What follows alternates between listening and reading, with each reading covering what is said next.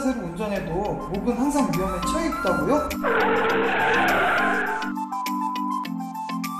차를 타고 갈 때 목이 많이 피곤하게 되더라고요. 장시간 운전을 하면은 어깨가 이렇게 움츠려지고 목을 빼게 되더라고요.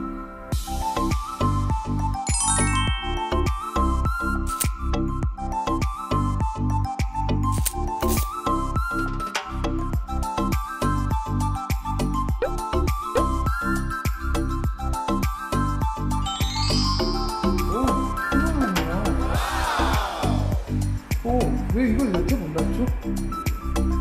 아주 편합니다. 공간을 많이 안 차지해서 좋은 것 같고요. 잠깐 차에서 쉴 때 괜찮은 것 같아요. 집에서 베개를 베는 것 같이 편안한데요?